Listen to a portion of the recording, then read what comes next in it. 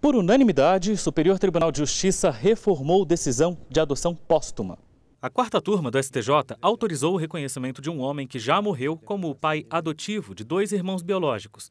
Por unanimidade de votos, os ministros reformaram a decisão da segunda instância, que havia negado o pedido póstumo de adoção. A própria decisão anterior reconhecia que os irmãos realmente cresceram na família como integrantes natos, mas que não poderia autorizar a adoção porque não existe uma norma específica para isso. Os irmãos foram adotados informalmente na década de 70. Eles e a mãe adotiva, a esposa do pai falecido, pediram a formalização da adoção e, para isso, apresentaram provas como fotos, testemunhas, documentos em que consta o nome do falecido como pai.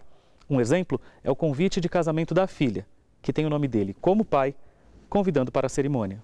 O desembargador convocado, Lázaro Guimarães, foi o relator. Ao votar pela reforma da decisão anterior, ele defendeu que a jurisprudência evoluiu para que, em situações excepcionais, exista a possibilidade jurídica de adoção póstuma.